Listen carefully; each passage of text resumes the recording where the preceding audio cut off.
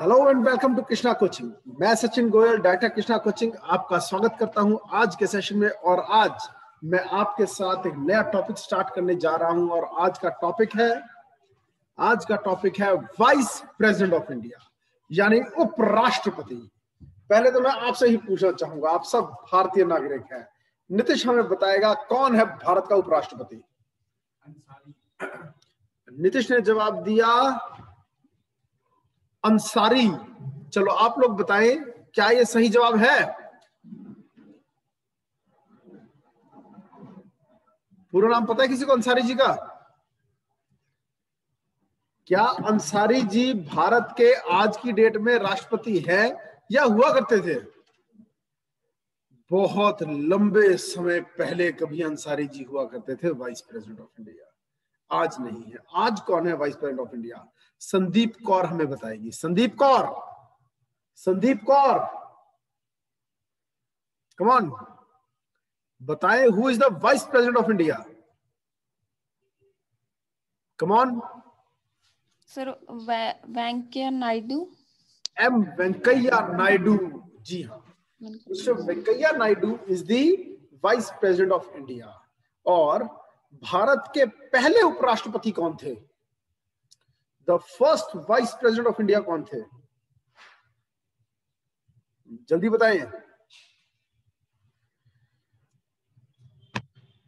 Come on बताएँ। अंजलि आप बताएँ। आप बताएँ। रामनिवास। किसी को नहीं पता? First vice president of India sir doctor Rajendra Prasad. Doctor S Radhakrishnan. Doctor Sarvepalli Radhakrishnan. जिसका बर्थडे फिफ्थ सितंबर हम सेलिब्रेट करते हैं as teachers day because he was a teacher चलो और आगे चलते हैं हम। ठीक है।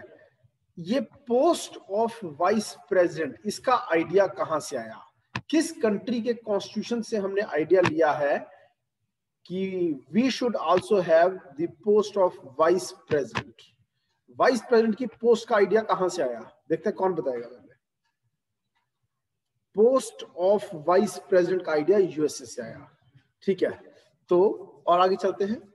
हमारे देश में एक ऑर्डर ऑफ़ प्रेसिडेंस होता है, जिसे हम कहते हैं ऑफिशियल वारंट ऑफ़ प्रेसिडेंस और ऑफिशियल वारंट ऑफ़ प्रेसिडेंस में प्रेसिडेंट सबसे ऊपर आता है और सेकंड नंबर पे जो आता है सेकंड हाईएस्ट रैंक ये सेकंड हाईएस्ट ऑफ़िस है हमारे देश का।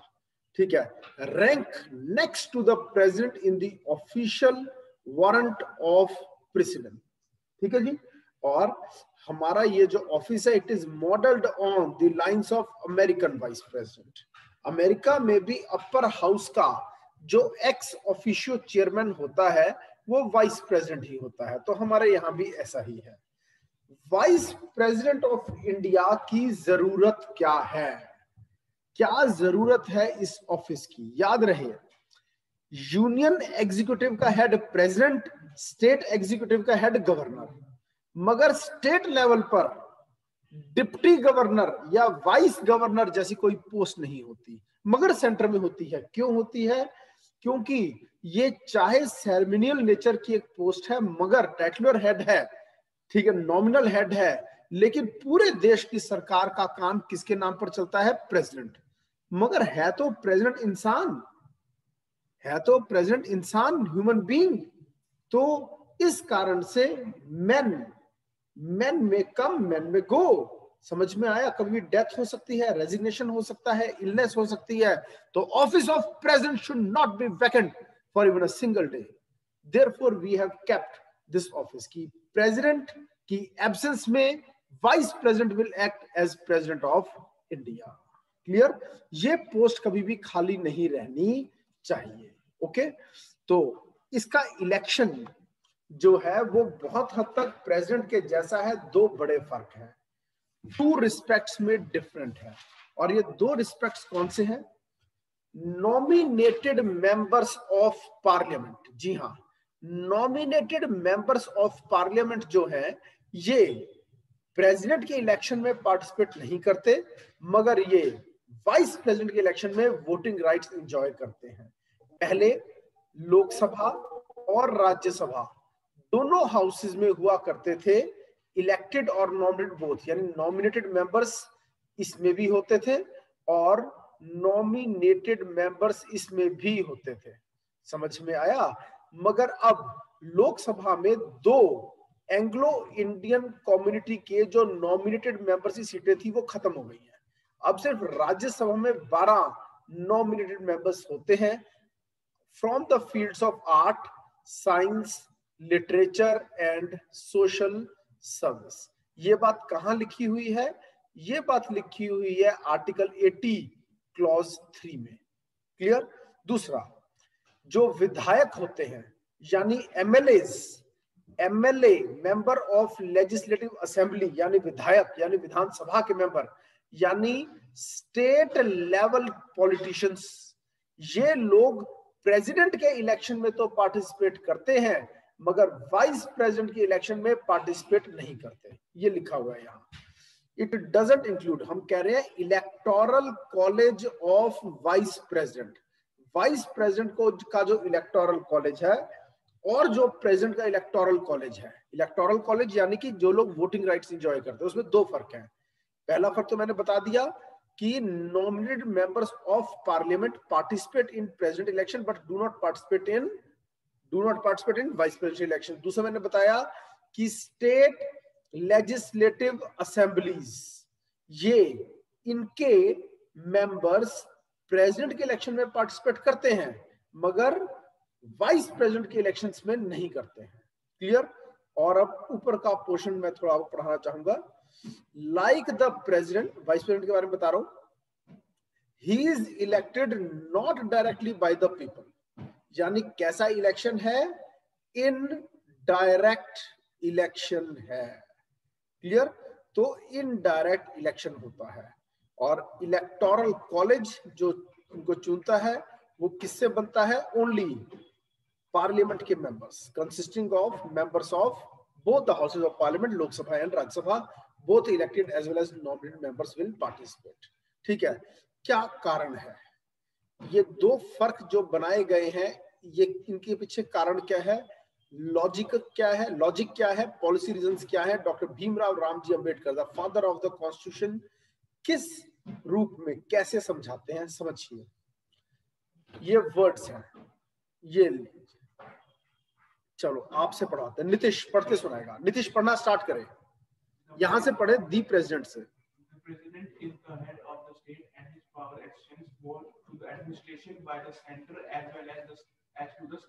दो मिनट यहाँ तक समझो।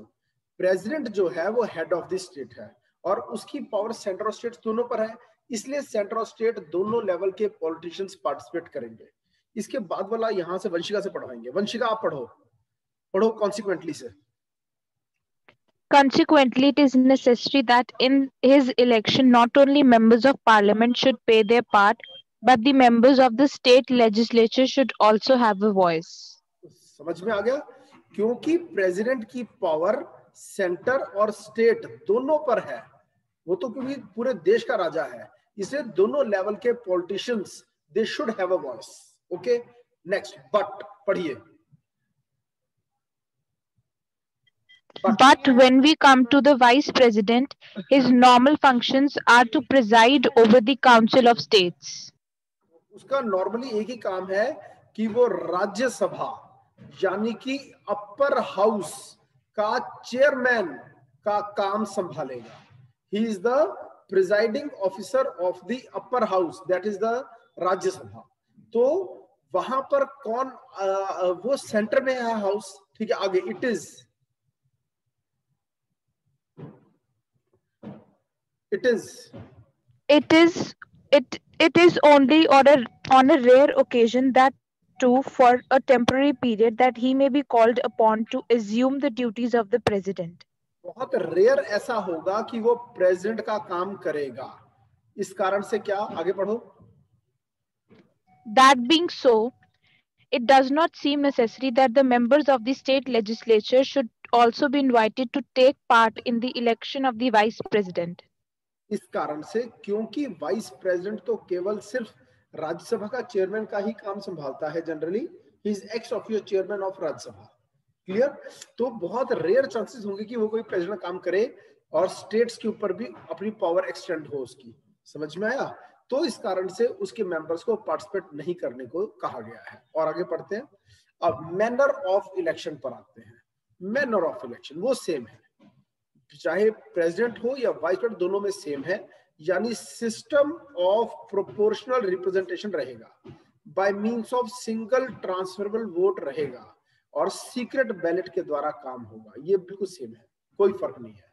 और अगर कोई केस होगा, यानी कोई चैलेंज करता है इलेक्शंस को तो वो भी inquired into and decided by supreme court ही होगा। और सुप्रीम कोर्ट का ही डिसीज़न फाइनल होगा। और तब तक इसको चैलेंज नहीं किया जा सकता। ठीक है? सबसे मेन कि जब इलेक्शन हुआ, उस समय इलेक्टोरल कॉलेज में कोई वैकेंसी एग्जिस्ट कर रही थी। इस ग्राउंड पर कभी भी वाइस प्रेसिडेंट के इलेक्शन को चैलेंज नहीं किया जाएगा कि इलेक्टोरल कॉलेज वॉज़ इनकम्प्लीट ये नहीं बोला जाएगा। ठीक है जी? और अगर सुप्रीम कोर्ट ने इलेक्शन ऑफ़ वाइस प्रेसिडेंट को नल एंड वॉइड भी डिक्लेयर कर दिया, तब भी जो उसने एक्ट कर दिए हैं एज वाइस प्रेसिडेंट वो नल एंड वॉइड नहीं होंगे, वो वैलिड माने जाएँगे। ठीक है जी? They are not the acts are not invalidated they continue to remain in force समझ में आया? यानी जो उसने ऑर्डर्स दे दिए, वो ऑर्डर्स खत्म नहीं हो जाते हैं। और आगे चलते हैं। अब हम here comes the next heading qualifications oath and conditions वही कंडीशंस हैं प्रेसिडेंट ऑफ़ इंडिया वाली एक फ़र्क है, और वो फ़र्क ये है। थर्ड पॉइंट में, देखिए, ये कंडीशन सेम है प्रेसिडेंट हो वाइस प्रेसिडेंट हो। इलेक्शन वही कॉन्टेस्ट करेगा जो सिटीजन ऑफ़ इंडिया हो, जिसकी एज मिनिमम 35 इयर्स हो, और must not be holder of any office of profit तो फ़र्स्ट पॉइंट सेम है सेकंड पॉइंट सेम है फोर्थ पॉइंट थर्ड पॉइंट में डिफरेंस है। थर्ड पॉइंट में लिखा है he should be qualified for the election of Rajya Sabha जबकि president के केस में यहाँ राज्यसभा की जगह पर वर्ड आ जाता है लोकसभा लोकसभा का इलेक्शन कॉन्टेस्ट करने के एलिजिबल होना चाहिए, अगर आप प्रेसिडेंट इलेक्शन कॉन्टेस्ट करना चाहते हैं, और अगर आप वाइस प्रेसिडेंट का इलेक्शन कॉन्टेस्ट करना चाहते हैं तो आपको राज्यसभा मेंबर बनने के लिए जो क्वालिफिकेशन चाहिए, वो सभी फुलफिल करनी चाहिए। क्यों? आपको आगे चल के राज्यसभा का ही एक्स ऑफिशियो चेयरमैन बनकर बैठना है। क्लियर और और अब मैं आपको बताने जा रहा हूँ अभी तक के सभी वाइस प्रेसिडेंट्स के बारे में। जो फ़र्स्ट वाइस प्रेसिडेंट थे वो कौन थे? डॉक्टर सर्वपल्ली राधाकृष्णन। दो टर्म्स में। क्लियर क्योंकि पहले दो टर्म्स में प्रेसिडेंट रहे राजेंद्र प्रसाद और वाइस प्रेसिडेंट रहे डॉक्टर सर्वपल्ली राधाकृष्णन। फिर doctor Zakir Hussain first Muslim to become the vice president of India and first Muslim to become the president of India. And then Zakir Hussain, Dr. Zakir Hussain, he became the president, but he could not complete his five-year term. He died in office. फिर V V Giri Venkatagiri Varahagiri Venkatagiri Varahagiri he first became vice president then he became the president of india gs pathak bd jatti mohammad hidayatullah Mohammad Hidayatullah एक बहुत famous personality है। He was a supreme court chief justice of India अगर president की seat खाली हो जाए तो उसकी जगह पर एक्ट करेगा कौन? वाइस प्रेसिडेंट और अगर वाइस प्रेसिडेंट की सीट भी उसी समय खाली हो जाए तो chief justice of India will act as president और अगर उसकी सीट भी खाली हो जाए तो नेक्स्ट सुप्रीम कोर्ट जज will act as president. President की जगह पर आएगा वाइस प्रेसिडेंट, वो भी अवेलेबल नहीं है तो चीफ जस्टिस, वो भी नहीं है तो next senior most supreme court जज तो मोहम्मद हिदायतुल्ला एक ऐसी शख्सियत है जो दो बार एक्टिंग प्रेसिडेंट बने। प्रेसिडेंट कभी नहीं बने, दो बार क्या बने? एक्टिंग प्रेसिडेंट एक बार इसलिए बने क्योंकि उस समय ये भारत के चीफ जस्टिस थे और दूसरी बार वो इसलिए बने क्योंकि उस समय वो भारत के वाइस प्रेसिडेंट थे। तो ये वो समय था when he was vice president and became acting president for some time. फिर R Venkataraman doctor Shankar Dayal Sharma जो डॉक्टर शंकर दयाल शर्मा थोड़ा सा बताना चाहूँगा, जो नो वन किल्ड जेसिका वाली एक मूवी आई थी। जेसिका लाल जैसिका लाल हत्याकांड जो हुआ था, उसके जो मुख्य आरोपी थे, ठीक है, मनु शर्मा, ये उसके नाना जी थे। डॉक्टर शंकर दयाल शर्मा, ठीक है? डॉक्टर शंकर दयाल शर्मा का कि बेटी का जो पति था विनोद शर्मा विनोद शर्मा का बेटा था Manu Sharma. Then K R Narayanan, ठीक है? First Dalit to become the president of India Krishan Kant, Bhairon Singh Shekhawat. Bhairon Singh Shekhawat was from Rajasthan. He was from BJP party और इनके अगेंस्ट कौन थी? प्रतिभा देवी सिंह पाटिल, जब इन्होंने president election contest किए। ठीक है, और फिर Mohammad Hamid Ansari Mohammad Hamid Ansari was the vice president of India for quite a long time. ठीक है then now Mr. Venkaiya Naidu, he is the, he is the vice president of India. किनको डिफीट किया इन्होंने गोपाल कृष्ण गांधी को इन्होंने डिफीट किया था इलेक्शंस में, ठीक है हामिद अंसारी ने किनको डिफीट किया था इलेक्शंस में जसवंत सिंह को ओके और वाइस प्रेसिडेंट का इलेक्शन कॉन्टेस्ट करने के लिए ये, ये ज़रूरी है कि you must not be you must not be holder of an office of profit under government of india. Clear? मगर किस किस को गवर्नमेंट ऑफ़ इंडिया के अंडर हम ऑफ़िस ऑफ़ प्रॉफिट कंसिडर नहीं करते हैं? अब ये देखो sitting president sitting vice president governor of a state कोई भी मिनिस्टर चाहे वो सेंटर का हो या स्टेट को, यूनियन का हो या स्टेट लेवल का हो, इन सबको हम ऑफ़िस ऑफ़ प्रॉफिट ट्रीट नहीं करते for the purpose of vice president elections. So, sitting president sitting vice president governor और any minister, may be of centre, may be of state, they can contest the election of vice president of India. पंद्रह हज़ार रुपए का security deposit करवाना पड़ेगा उस इंसान को जो वाइस प्रेसिडेंट इलेक्शन कॉन्टेस्ट कर रहा है। ठीक है जी? सेम अमाउंट होता है प्रेसिडेंट के इलेक्शन के लिए। पहले प्रेसिडेंट के इलेक्शन के लिए 2500 डिपॉजिट करवाने ज़रूरी होते थे। 1997 में इस अमाउंट को बढ़ाकर 2500 को सिक्स टाइम्स कर दिया गया। जी हाँ सिक्स टाइम्स बढ़ा दिया गया। पंद्रह हज़ार कर दिया गया। क्यों किया गया? ताकि लाइट माइंडेड पीपल कमज़ोर, कोई इंसान बस मज़ाक मज़ाक में वाइस प्रेसिडेंट इलेक्शन या प्रेसिडेंट इलेक्शन कॉन्टेस्ट ना कर सके। वहाँ पर 50 प्लस 50 प्रेसिडेंट का इलेक्शन कॉन्टेस्ट करने के लिए 50 प्लस 50 इलेक्टर्स आपके सपोर्ट में होने चाहिए। 50 एज प्रपोजल्स 50 एज सेकेंडर्स लेकिन वाइस प्रेसिडेंट इलेक्शन कॉन्टेस्ट करने के लिए है 20 plus 20 50 proposals sorry 20 proposals and 20 seconders और ये 20 कौन होंगे? एलिजिबल वोटर्स और वाइस प्रेसिडेंट में fifty plus fifty eligible voters clear और यहाँ एलिजिबल वोटर्स कौन है? मेंबर्स ऑफ़ पार्लियामेंट और प्रेसिडेंट के केस में एलिजिबल वोटर्स कौन है? ठीक है। प्रेसिडेंट के केस में इधर इलेक्टेड एमएलए और इलेक्टेड एमपीज अब शपथ। कौन शपथ दिलाएगा? कौन शपथ दिलाता है? प्रेसिडेंट ऑफ़ इंडिया को। वाइस प्रेसिडेंट ऑफ़ इंडिया को। ठीक है? देखिए, जो वाइस प्रेसिडेंट ऑफ़ इंडिया है, वो प्रेसिडेंट से शपथ लेता है। तो oath is administered by the president ठीक है? और any other person appointed by him in this behalf और दो बातें कहनी होती हैं। क्या?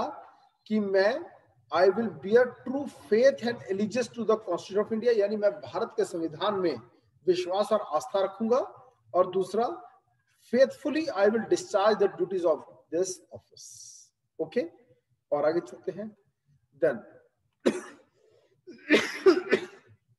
अब आती है इसकी कुछ कंडीशंस ऑफ़ ऑफ़िस क्या है conditions of office of vice president of India जो इंसान उपराष्ट्रपति बनेगा वो साथ साथ किसी हाउस ऑफ़ पार्लियामेंट का या फिर किसी हाउस ऑफ़ स्टेट लेजिस्लेचर का मेंबर नहीं हो सकता।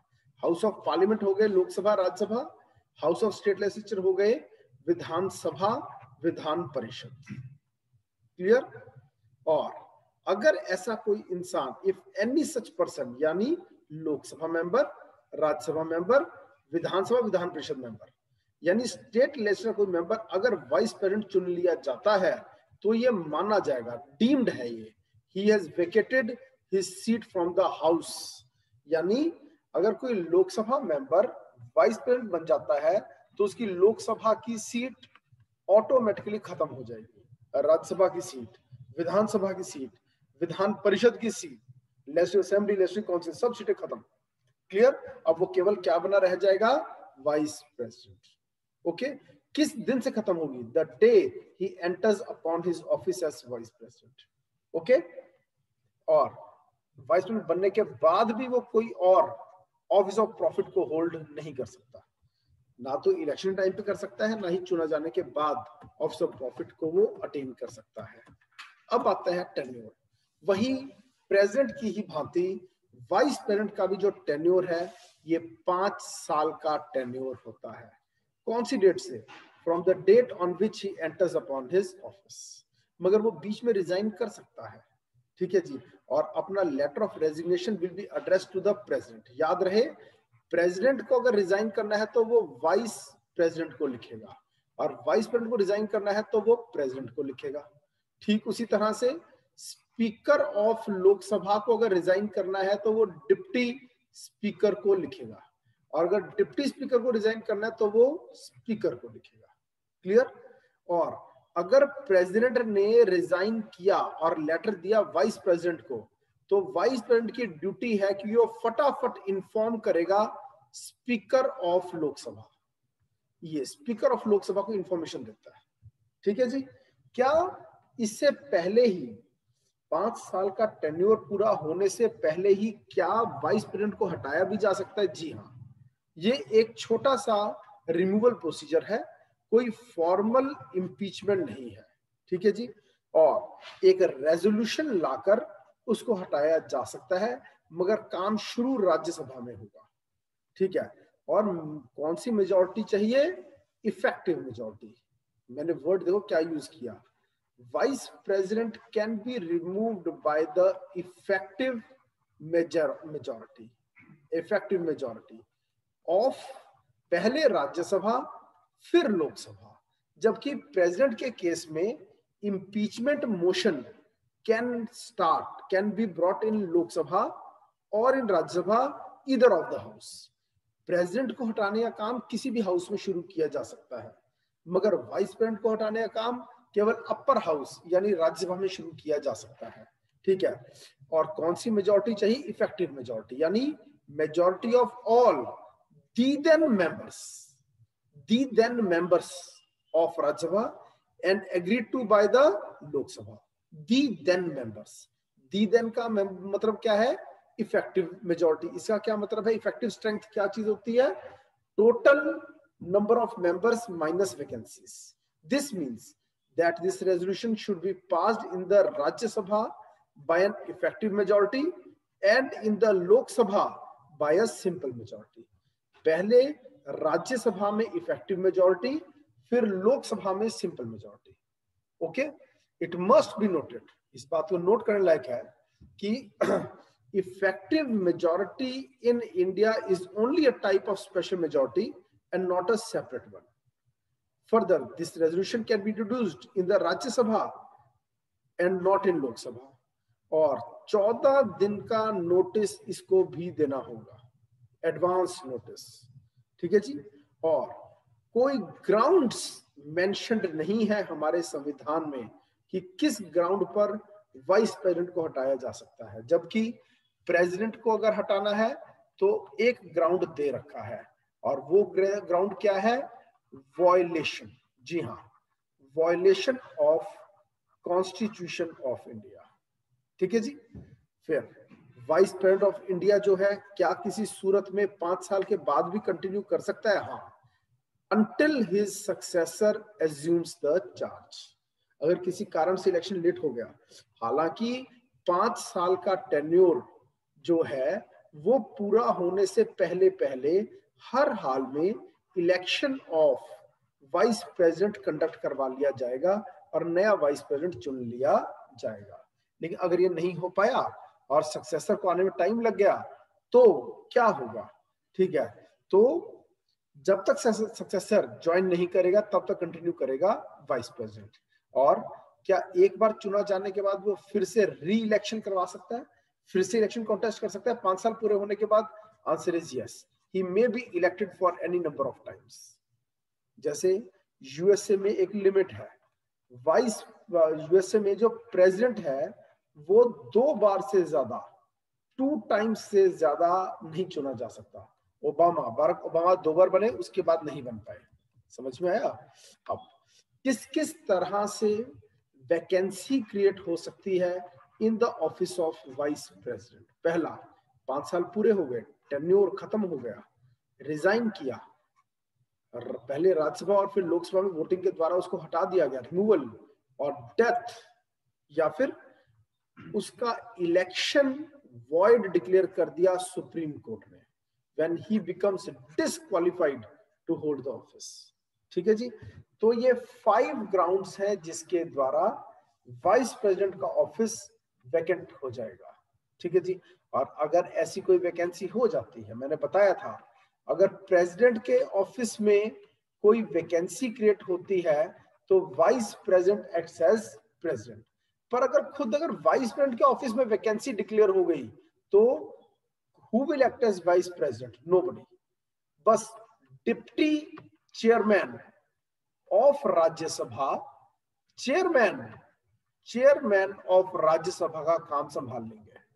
और क्योंकि वाइस प्रेसिडेंट का और कोई इतना इंपॉर्टेंट काम है ही नहीं क्लियर और वाइस प्रेसिडेंट के फिर ऑफ़िस के लिए इलेक्शन करवाया जाएगा एज सुन एज पॉसिबल कोई लिमिट नहीं है। प्रेसिडेंट की डेथ हो जाने के बाद सिक्स मंथ्स के अंदर अंदर प्रेसिडेंट का ऑफ़िस फिलअप करने के लिए इलेक्शन कंडक्ट कराना मैंडेटरी है।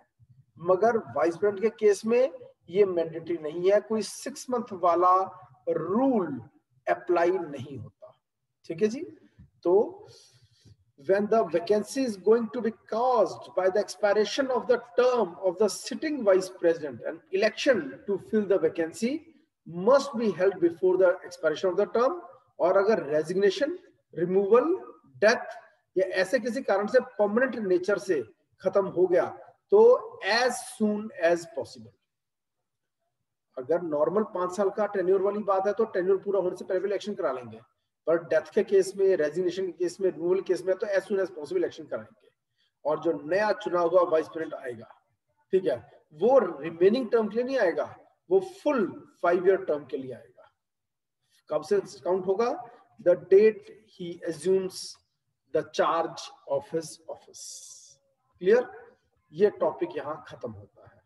क्लियर अगला सेशन हमारा किस टॉपिक पर होगा? वो होगा powers and functions of vice president of India जो हम कल करेंगे। ठीक है, आज के सेशन को मैं यही एंड करता हूँ। हमने more than 50 percent of the topic of vice president आज इस सेशन में कर लिया है। मोस्ट प्रोबेबली कल के सेशन में हम वाइस प्रेसिडेंट के ऑफ़िस को खत्म कर देंगे with comparison okay with this I end this session any question कुछ पूछना चाहते हैं तो आप पूछ सकते हैं।